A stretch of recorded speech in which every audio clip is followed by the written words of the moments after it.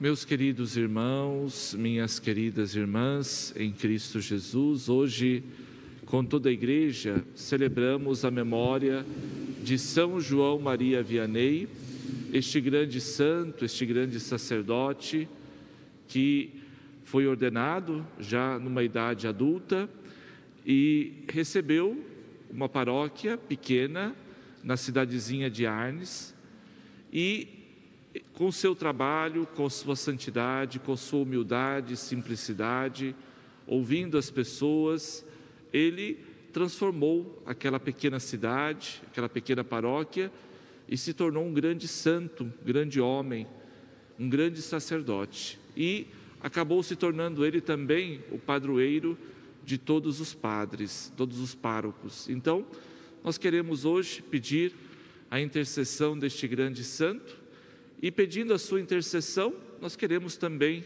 nesta Santa Missa, rezar por todos os sacerdotes, por todos aqueles que doam, doaram a sua vida por amor a Deus, por amor à Igreja. Então, que nesta missa nós possamos rezar por todos os nossos sacerdotes. E, olhando também a liturgia de hoje, de modo especial, olhando o Evangelho, nós vemos no Evangelho aquele episódio onde Jesus pergunta para os seus apóstolos: Quem dizem os homens ser o filho do homem? E aí, alguns vão dizer, alguns apóstolos se levantam e dizem: ó, uns dizem que é João Batista, outros que é Elias, ou um dos profetas que voltou.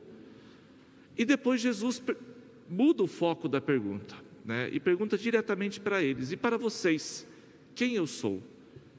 E aí Pedro prontamente se levanta e diz: Tu és o Cristo, o Filho do Deus vivo.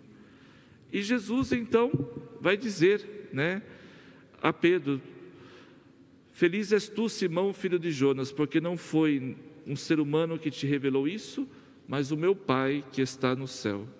Por isso eu digo que tu és Pedro, e sobre esta pedra edificarei a minha igreja e o poder do inferno nunca poderá vencê-la.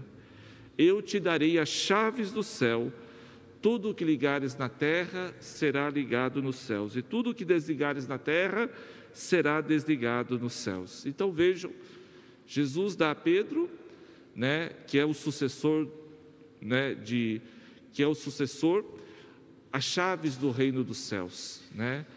E dá aos apóstolos também a autoridade de ligar na terra, tudo aquilo que ligares na terra será ligado no céu, tudo aquilo que desligares na terra será desligado nos céus. Então, Jesus dá a Pedro e aos demais apóstolos esta autoridade.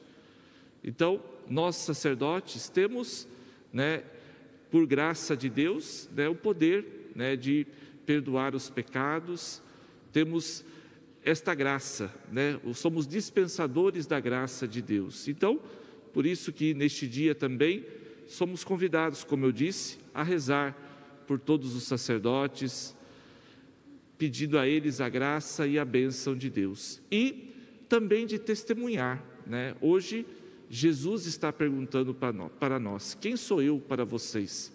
E nós temos que dar a nossa